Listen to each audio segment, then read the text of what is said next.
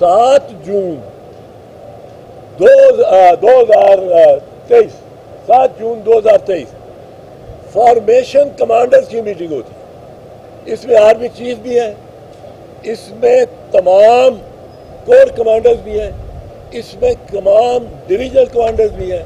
Brigade commanders بھی ہیں۔ اب تمام بریگیڈیئر جو جن کے پاس کسی فوجی دستوں کا چارج ہے۔ وہ کوئی ڈیسک جاب نہیں کر رہے فارمیشن کمانڈ کر رہے.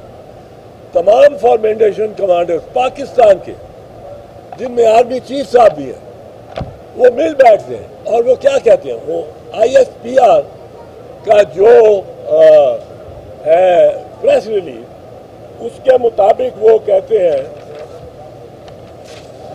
کہ ناقابل ناقابل تردید شواہد جن کو کبھی جھٹلایا نہیں جا سکتا اور بگاڑا نہیں جا سکتا۔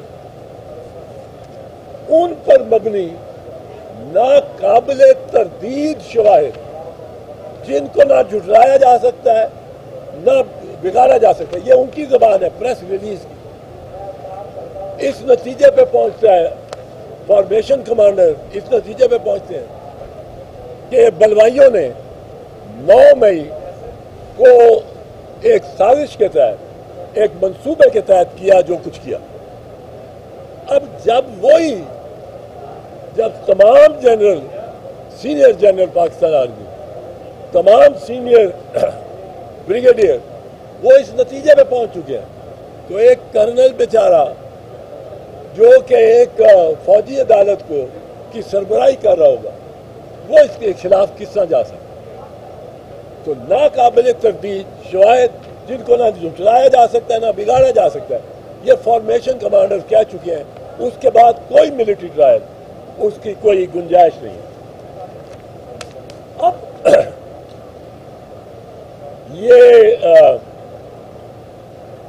اس میں میں ہاں جو چیز دیکھنے والی ہے، جس پہ ابھی تک کوئی غور نہیں کر رہا، اس سے ہٹا رہے ہیں، اس سے ٹینشن رہا ہے۔ وہ یہ ہے کہ مثال کے طور پہ لاہور کور کمانڈر کا ریزیڈنس کا کیس دیکھ سات یا آٹھ گھنٹے وہ تھوڑے سے بلوائی، اور زیادہ نہیں ہے۔ کور کمانڈر کے گھر کی اگر تصویریں آپ نے دیکھی ہیں، یا ویڈیوز جو گورنمنٹ نے جاری کی ہیں اس میں چند ہے وہ۔ پنجابی میں کہنے نے کھلے رہے کھلے رہے۔ کوئی ان میں زیادہ لوگ نہیں۔ پینتیس، چالیس لوگ ایک وقت میں زیادہ سے زیادہ کور کمانڈر اور سب اور ان کے پاس، کسی کے پاس آتشی اسلحہ نہیں ہے۔ آتشی اسلحے کی کوئی الزام نہیں آیا کسی ایف آئی آر۔ اب ان کے پاس آتشی اسلحہ بھی نہیں ہے۔ ڈنڈے ہیں۔ چالیس پینتالیس لوگ ہیں۔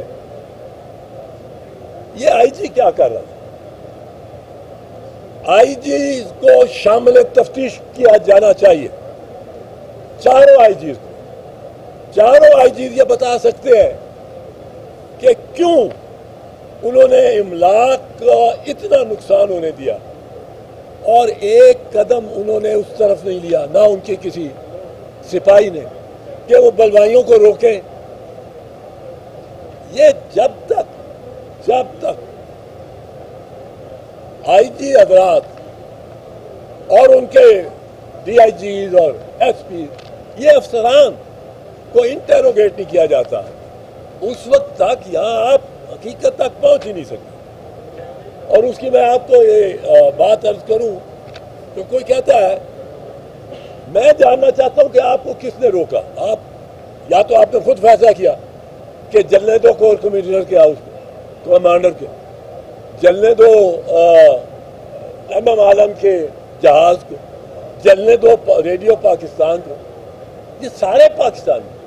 یہ I G inspector general police, ان کو میں نے اس، ہم نے اس درخواست میں رسپونڈنٹ بنایا کہ آ کے بتائیں عدالت کو کہ اتنا جو نقصان ہو رہا تھا اور اتنا قیمتی اشیاء کا اور املاک کا نقصان ہو رہا آپ کہاں تھے؟ کیا کر رہے تھے؟ یہاں سے نقطۂ آغاز ہونا چاہیے۔ اور اس کا ادراک نہیں کیا۔ ابھی تک نہ کور کمانڈرز کی میٹنگ ہے، نہ فارمیشن کمانڈرز کی میٹنگ۔ اور میں تو کہتا رہتا ہوں، کوئی چیف صاحب کو جا کے چیف عوارمی صاحب کو کوئی سمجھائے۔ ان کو مشورہ ٹھیک نہیں مل رہا میرے خیال ان کو کوئی سمجھائے کہ یہ قانون ہے، یہ آئین ہے۔ اب اس پہ وکلا تو سٹینڈ لیں گے۔ اگر فوجی عدالتیں لگی وکلا آئین کے محافظ ہیں، ان کا ہمارا فرض ہے۔ فرض جس طرح ہر اس کرنل کا تھا، جو لاہور میں تھا اس دن اور اس کا یونٹ بھی اس کے ساتھ تھا، کہ وہ جا کے اپنے کمانڈر کے گھر کو آگ لگتی ہوئی بجھائے، کوئی نہیں پہنچا۔ یہ ان سوالوں کا جواب ہم اس پٹیشن کے ذریعے مانگتے ہیں۔ کہ یہ انہوں نے کیوں کہ وہ کہتے ہیں نا، آپ آپ آتے تھے، مگر کوئی اناگیر بھی تھا۔ کوئی تاخیر تو کوئی کچھ باعث تاخیر بھی تھا۔ آئی جی صاحب، آپ آتے تھے، مگر کوئی اناگیر بھی تھا۔ وہ اناگیر کون تھا؟ کس نے روکا آپ؟ یہاں پہنچیں گے جب تو پھر ہم کہہ سکیں گے کہ یہ ٹریپ نہیں تھا۔ اس طرح تو لگتا ہے آپ نے ٹریپ کیا ورکر کو آپ نے ایک جال بچھایا ہے تو وہ بیچ میں آ جائے۔ آپ نے پھر ان کو اجازت دی ہے۔ بلکہ کئی دفعہ انگیز کیا لگتے ہیں، ایسے لوگ آتے بیچ میں لگتے ہیں، جو انگیز کر رہے ہیں۔ اور ان کی کسی تصویر کسی میں نہیں آتی۔ آئی جی صاحب ان کے پیچھے نہیں جاتا۔ تو یہ ایک ایسا بہی مانا بز دلانا حملہ ہوا ہے کور کمانڈر کے گھر پہ، ریڈیو پاکستان پشاور پہ جی ایچ کیو کے دروازے پہ یہ دیگر ایم ایم عالم کے جہاز پہ کہ اس کو کوئی ہم برداشت نہیں کر سکتے۔ لیکن ہم یہ کہتے ہیں کہ جو ذمہ دار ہے اصلی، اس تک پہنچا جائے اور وہ آئین اور قانون کے ماتحت عدالتیں ہی کر سکتی ہیں، فوجی عدالتیں نہیں کر سکتے۔ کیونکہ فوجی عدالتوں نے تو، کہ تو افسران نے پہلے کہہ دیا ہے کہ ایک اور چیز میں کر یہ کہا گیا ہے کہ اتنا بہی مانا اتنا افسوسناک دن پاکستان پہ نہیں آیا جتنا نو مئی ہے۔ میں یاد دلانا چاہتا ہوں، میں تھوڑی سی تاریخ کا طالب علم بھی ہوں کہ بہت سے ایام اس قوم پہ آئے ہیں۔ نوابزادہ لیاقت علی خان کی شہادت انیس سو اکاون میں، پہلا وزیر اعظم پاکستان۔ پاکستان کا خود دو لفظ ہو جانا۔ سولہ دسمبر انیس سو اکہتر کو دو لفظ پاکستان ہو گیا، ٹوٹ گیا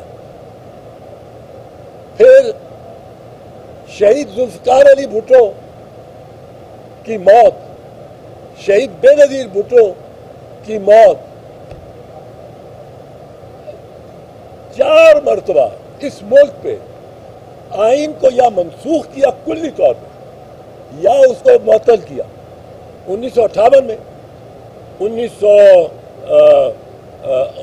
انہتر میں، nineteen sixty nine, nineteen seventy seven and two thousand nineteen ninety nine nineteen ninety nine تینوں دفعہ ملک گیر مارشل لا لگا دیا کیا وہ تجاوز نہیں تھا کیا وہ بڑے روشن دن سیاہ دن نہیں تھے تو اس لیے ہم نے عدالت سے استدا کی ہے اور یہ پٹیشن فائل کی ہے سردار لطیف کھوسا صاحب سینئر ایڈوکیٹ سپریم کورٹ اور سلمان اکرم راجہ صاحب، میرے بیاف پہ اس میں بحث کریں گے۔